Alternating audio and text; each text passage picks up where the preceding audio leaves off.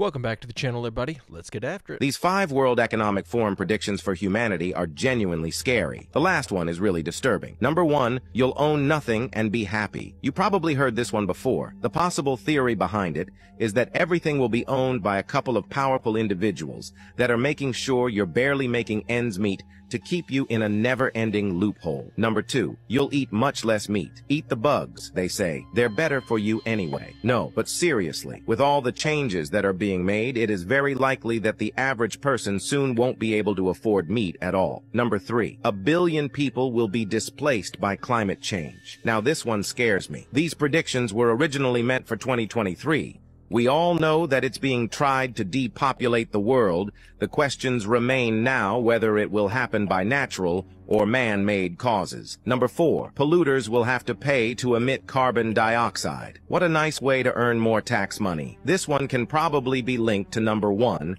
as the average person undoubtedly will have enough money to own a car, let alone be able to afford enough carbon credits. But that's not all, there are many more. Share this video if you want to see part two. And if the World Economic Forum is predicting these things, that means they have plans in place to enact these things.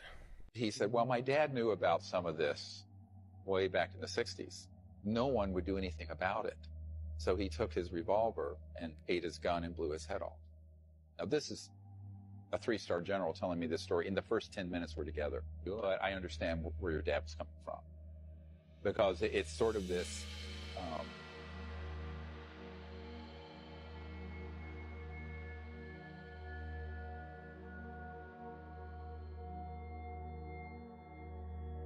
there are a lot of people who've been on my team who who were military who killed themselves, others who have been assassinated so the other thing keeps me up is, you know,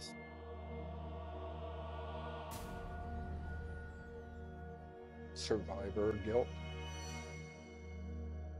Because humanism isn't enough, because we're dealing with non-human life forms. Now we have to transcend even humanism into this idea that there has to be something more universal within us that's also within these extraterrestrial civilizations that bind us together called remote viewing. The ability to use consciousness to spy on, an, on a remote place.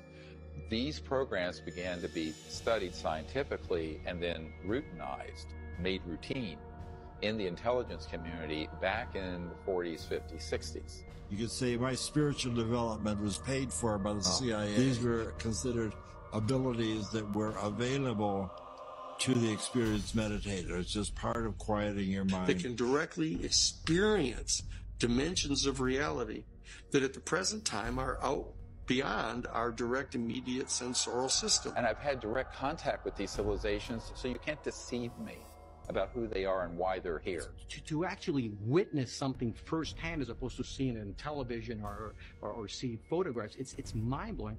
For me, it was so profound, I was, I, I couldn't sleep that night. I was just amazed. But the amazement was that not that I saw it, and actually I needed that because I have that, that, that mindset, but the feeling you got. I got this incredible feeling. You, you, have these two ships, and then I, I can't explain it. My, it's just an emotional state. I was so taken by it. You know, that's something I never really considered is the weight that the weight you must carry around on your shoulders trying to wake people up from something that they think isn't even true or really going on. Man, that was kind of hard to watch. The core of the earth is getting ready for a reversal. Every so many tens of thousands of years, this happens. It's normal. It even creates a reversal of Earth's magnetic field. So right now, if you go out to any area where there's volcanic activity and you can get your hand on some volcanic rocks, some really old volcanic rocks, and you take those volcanic rocks and you check the uh, position or the the the, the um, orientation of the atoms, if they're more than 27,000 years old, you will find out that the atoms are oriented opposite. In other words, north is south and south is north, meaning that the Earth's magnetic field is recorded in volcanic rocks. Okay. And we know this, this is basic archaeology 101. This is what they teach you. This is basic stuff. This isn't anything crazy, but I'm telling you, it's really easy stuff. But what's interesting about this is it means that the Earth's magnetic field, it flips every so many tens of thousands of years. On average, around every 26, 27,000 years, the Earth's magnetic field does a flip. Now, what's happening here in this current era, if you begin to research the Earth's magnetic field, you discover that Earth's magnetic field is actually warping and wrinkling in a way that's even letting a lot of radiation and cosmic rays hit the, the planet because it's bending in a way. And the magnetic north has begun to move. And where is it now? Magnetic north has now moved over Russia. It's actually just now beginning to pass Russia. So it's been ticking, ticking, ticking, ticking, ticking away as our magnetic field is preparing itself for a complete flip, south to north and north to south. All right. And so this is interesting because this is what Thoth is talking about here in the Emerald Tablets. He's talking about something that we're experiencing right now today in modern science. This makes me feel a lot better hearing him describe it in such a way that it's happening slowly over a period of time because my understanding up until now was that when we had a pole shift, it was just going to be a whoop, whoop, and our atmosphere was going to be blown off and everybody was going to float off into space. So um, I'm glad it's happening slowly. Hey, if you're enjoying this video, I make a new one just like it every single day. It would be awesome if you'd hit that subscribe button and come back tomorrow to join me. Do you think this was human beings using some sort of advanced technology to terrorize this village in the efforts of human trafficking, organ trafficking, or? I suspect that we're dealing with very nefarious human beings in possession of exceedingly advanced technology. Talia's story, the 15-year-old girl who was nearly abducted, is one of the most graphic accounts. Her encounter began when this fruit fell out of the tree. She bends over to pick it up and she felt a gentle wind and she noticed the leaves were rustling. And so when she looked behind to see what was causing this breeze, she saw one of these assailants flying up to her on one of these discs, landed right next to her and grabbed her from behind, put his hand over her mouth. I've seen another interview with that man uh, that's telling the story where he was describing walking up onto a craft while he was in the military a craft that was being manned by human beings, and he saw them loading children onto it. That gives you a little backstory on him. I do not remember his name, but this wouldn't surprise me one bit. If we've got, we already know that that human trafficking is a, a massive operation that takes place all over the world. We know from that list that just dropped, there's a lot of high profile people involved in it. It would only make sense that these higher ups would get their hands onto this advanced alien technology and use it for nefarious purposes. This is what happens when Russia takes all of your energy. This is the only way that you can warm up in France. Fire, the cause of bad economic policy and bad foreign policy where you get fucked. If you look into uh, what's happening with the energy crisis, Germany, France, all these countries, you'll realize this whole green movement, this whole climate change movement is another tool of matrix control to make sure people end up like brokies with no ecosystem to uh, take care of themselves. No infrastructure, no sustainability. So here we are in Paris, the only way to keep ourselves warm. We don't want to get fined, right? If our temperatures are too high. So it's the name of the game. Wood. And whether it's popular opinion or not, it's not Russia's fault. It's France's fault. They should have never made that deal. Hopefully, not coming to a country near you. What?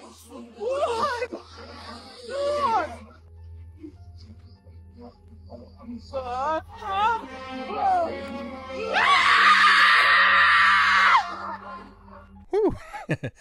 the thing almost outran their boat. Stay out of the water. Definitely stay out of that water. Jellyfish UAP is legit. Let me explain. Military information said this object was jamming the radar. The thermal changing was super strange, and I came across someone who said they worked with some of these platforms and never saw anything like it. We also have three other footage accounts of these jellyfish, and I have these at the end of the video. Bird poop is the dumbest comment I've seen all this from the skeptics today. First off, a smear would be in focus. You would have to be zoomed out, and these weapon arrays can bullseye a target from 20 miles away. So if they're indeed tracking a UAP, smear would be blurred to barely noticeable, depends on the sensor size. And this is a little video just showcasing that very thing. And this is with an iPhone camera, let alone a you know lens that could potentially do 30,000 plus zoom or whatever the military has. The other thing is the object does move. And this wouldn't be the case if it was a smear. Plus we have different angles. It also, the thermal changes with the object, so that couldn't happen with the smear. You would have to heat up the lens that would destroy the equipment. Here's some different pieces of footage um, from all over, from different years, including one that's over 14 years old, and showcasing these, these jellyfish-like entities.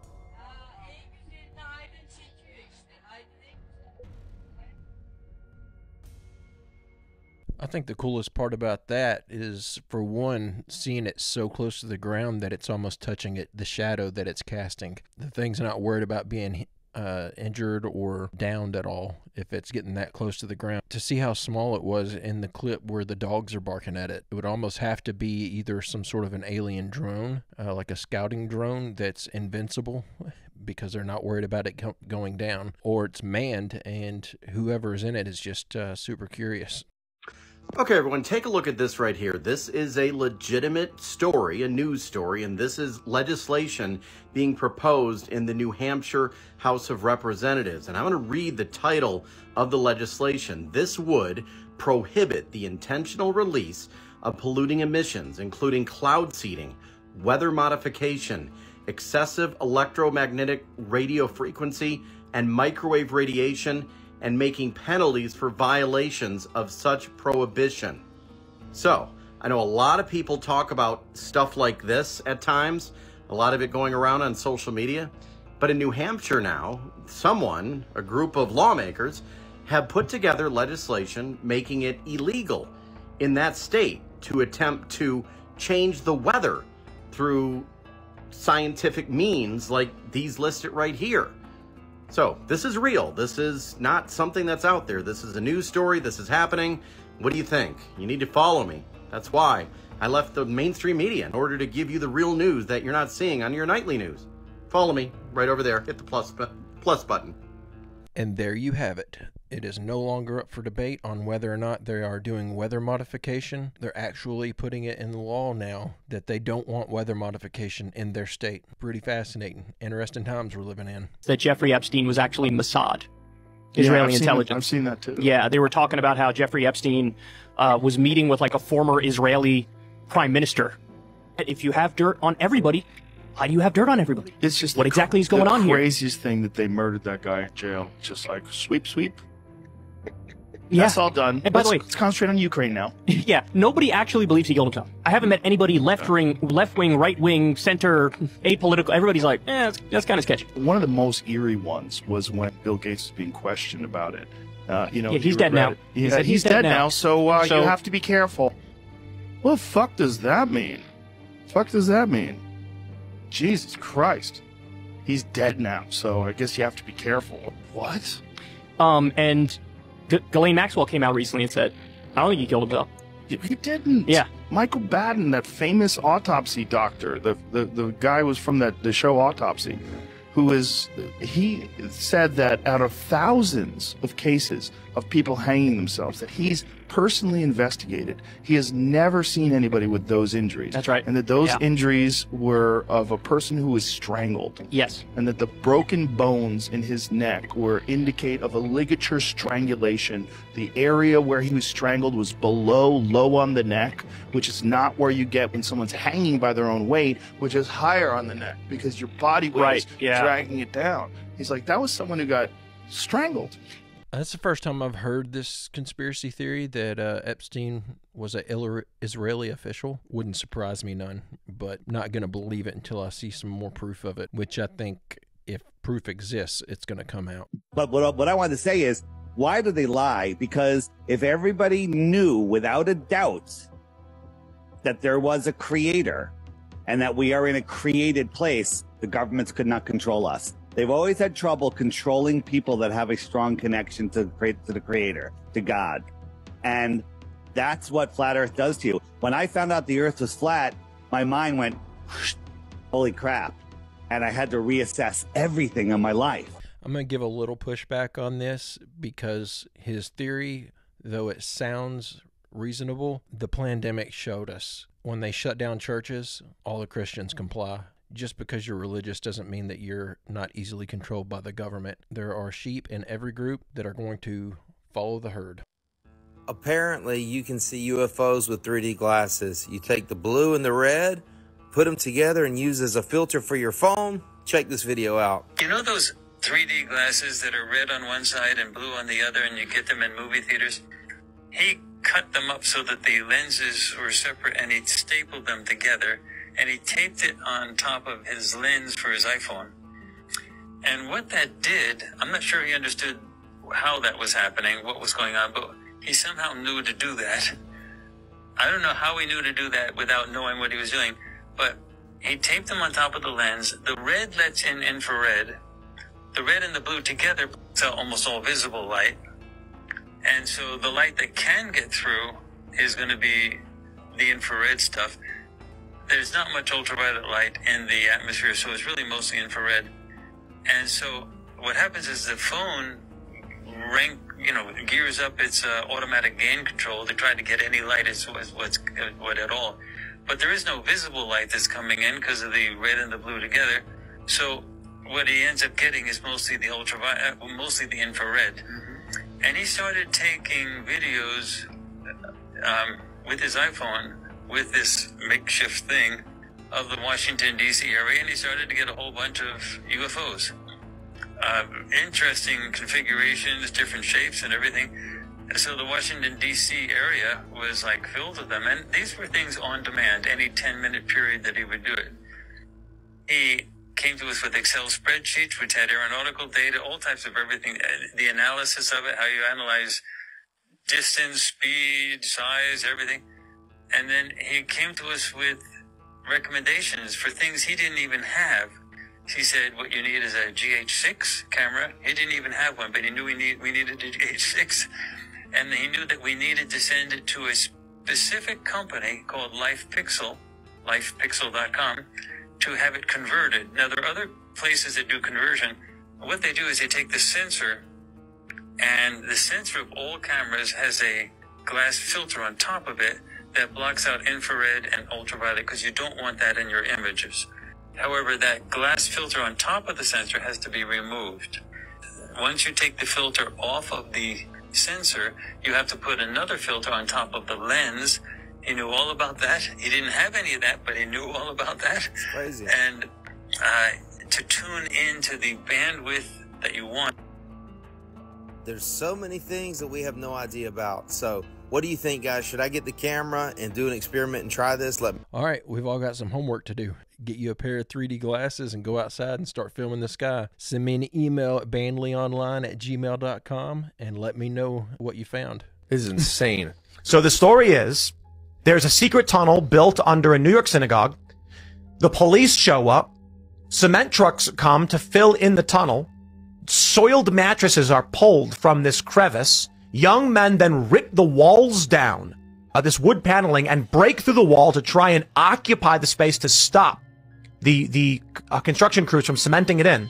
When the police show up, young Jewish men fight the police, and a dozen are arrested. And now everyone is saying, "What the is going on with secret Jewish tunnels in New York City?"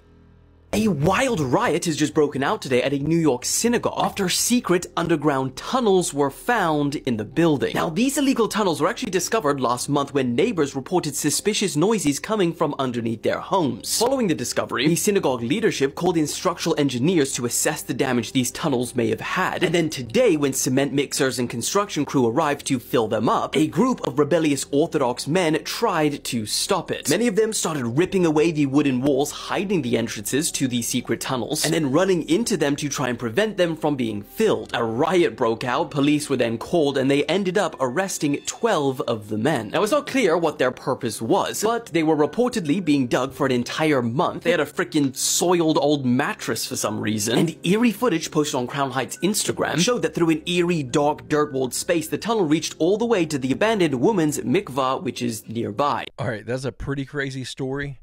Uh, first, we have the the Miami Mall incident, and now this, and we're only a week into 2024. But uh, I found some video footage that I think is legit, showing the inside of these tunnels. There's a paranormal element to it that makes me feel like it could be faked. I, I'm gonna play it now. You guys make up your own mind. I mean, the news is not going to show you this video. It's just way too scary for the public.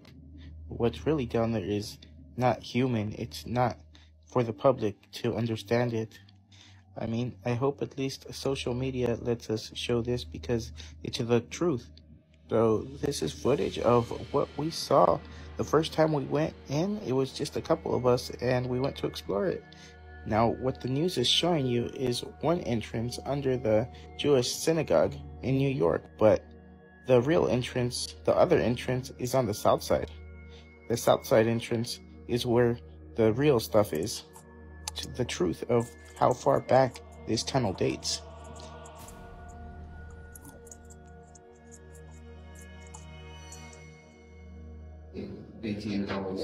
Yeah.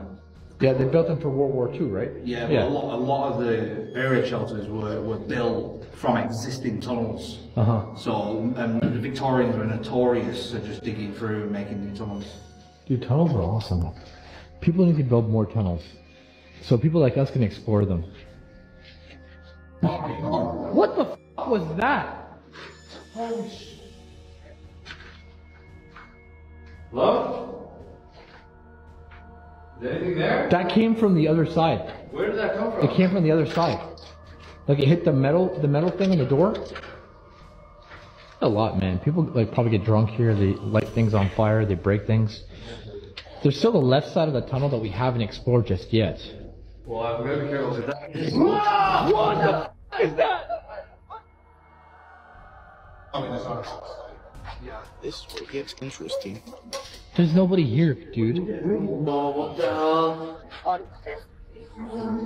It looks like someone's been chipping away. It's worse because of the chip, isn't it? Yeah. It's like the nose, it's like there's like a nose where the nose is. Stop moving, stop moving. Yeah. Yo, look what it says. Have you seen it? It says, have you seen it? What the? And that noise came from that area. Bro, there might be a psychopath down here, you know. Bro, I They're think. painting on the walls this stuff. We've explored the hell out of this tunnel. It, it does go to a dead end and it comes out to a field. But we haven't explored the right side of it. Like there's more tunnels that we haven't seen yet. Like there's a lot more to check out.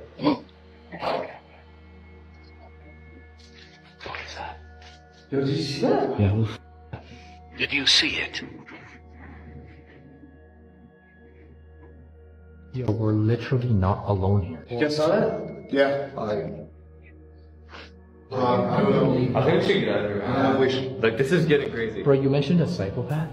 I don't know. Did you see the drawings on the walls in Yeah, there? but like, there's a person or something in here walking around without a flashlight. That's a psychopath right there. I just heard someone. There's someone there. After you, bro. Hello? Dude, that was traumatizing. I don't want to go back in there. I think I just want to go out that, that exit, man. Like, I, I'm down for Did you bring a shovel? I mean, I don't know. I don't know. This thing? Okay. Try. Guys, guys, guys, wait, wait, wait. Look, look, look, look what it says on the wall here. Murder backwards. Murder hole. Red rum. This is when things get even more chilling. Just don't want to run into whoever did this. I think we should just head down.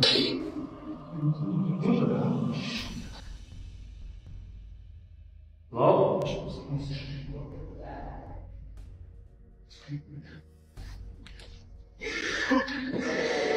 What the f-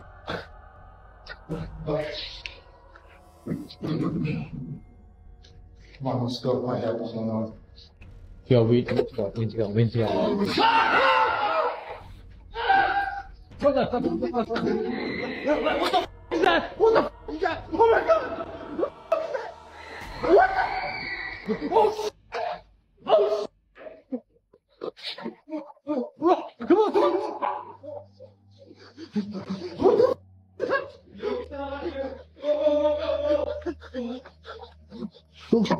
Follow to see more videos that will make you say what the fuck. So, what did you guys think? You think that was legit or what? The uh, thing with the tentacles uh, running around down there, I think, is something that's uh, certainly been added. I don't think that they would be trying to save those tunnels if there was some sort of a creature down there that was that creepy. I think they'd be I think they'd be petitioning along with the elders to have those tunnels filled in. I don't know. It's an interesting story. I'm I'm excited to see where this goes and see what comes of it because uh, there's a lot of stuff here that doesn't really add up. Seems like something suspicious is going on. They're printing money because they're going to end the dollar. They're going to collapse the dollar through hyperinflation and transition to a digital currency. They're printing the money. They're then sending the money over there. Little Zelensky gets to keep part of it, and he gets to buy some yachts and some big houses and all this shit. The rest of it comes back to political PACs or individual people that are in the government. Those people are taking the money, buying assets that will bridge from this monetary system to the next. Then you sell the new asset on the new currency, and you're rich in the new currency. And it makes so much sense that that's what's going on, and people just refuse to see it. Everybody needs to go invest in this gold back dollar thing. So here's something weird you can get on the dark web now. The genetic profiles of over 6 million people. This has been one of my most requested videos because today we're looking at the 23andMe data leaks. I've seen a lot of people talking about this on the news, but it gets a lot weirder when you look at the actual leaks. So if you didn't know, a couple months ago, a bunch of data was stolen from 23andMe. Basically, someone was able to get access to over 14,000 accounts using credential stuffing, essentially just trying username and password combinations from other data leaks. From what I can tell, it sounds like they were able to use those accounts to get access to the genetic profiles of other users because 23andMe lets relatives see the genetic segments they have in common with other people. And as you can probably imagine, with 14,000 people, your family tree is pretty big. This onion site called Breach Forums is where the data was leaked to. I think they might have a ClearNet mirror, I'm not sure. But yeah, there's a couple weird things about the breach itself. It's funny how going on the dark web and actually finding the leaks compares to what's being talked about in the news. For example, on most of the articles, it says the data is being sold for like one to ten dollars per account, but I was able to find people just dumping the entire collection for free. Also, at least on the threads, I was able to find the data was organized very specifically. Interestingly, it seems like it was targeting users of very specific ethnicities. There's a lot of talk about the genetic info of the Rockefellers, the Rothschilds, and the royal family. And yeah, some other stuff I can't really get into. I mean, but yeah, pretty creepy stuff. Just as a reminder, 23andMe recently sent out their new privacy policy to try to cover themselves. And you have about two more weeks to notify them you don't agree so that you can get a piece of that class action lawsuit. Also, you can always use the site Have I Been Pwned to see if you're included in any data leaks. Bye bye. You know, I was wondering, you know, what kind of nefarious purposes would this be for? Like, what what would they have needed all of this genetic information for? At first, I thought maybe it's the government's trying to get their hands on this information, maybe China or something like that. But whenever he starts talking about the Rothschilds and stuff like that, it makes me think, you know, maybe it was one of us doing some digging. So check this out. With the 165 billion we gave to Ukraine, Mm-hmm. We could have built six border walls to stop illegal immigrants from pouring across our southern border. Mm-hmm. Could have fixed Flint's water system 215 times over. I like this one. Could have given every homeless vet two million dollars. Holy. Could have given 50 million to every family impacted by the Maui wildfires. Seven hundred dollars. You got seven hundred dollars each. We got to get our priorities straight, buddy. According to HUD, they think it would take twenty billion dollars to end homelessness in America. Twenty billion. And what'd you say? We've sent a hundred and how much? 165 billion. So we could have ended homelessness eight times over in America. Yeah. Yeah, bro. Yeah. It's outrageous. And they want to shut down the government and they try scaring people into thinking that's a bad thing. No, they'll never shut down the government. They'll never do it. Do you know why they won't shut down the government? Because people would then realize how little government we How actually unimportant it is. Yeah. They'll never shut it down because then they'll realize 90% of things that are getting spent, garbage. Absolute garbage. How you doing? How you doing? Spending, spending $15 million to find out whether badgers fuck better on cocaine. An actual thing, by the way. And if that video doesn't make you furious, nothing will. Guys, I'm going to go ahead and call it right here. I hope that you enjoyed the clips that we watched today. I will be back tomorrow with another upload. I hope you have a great, safe day. I will see you tomorrow.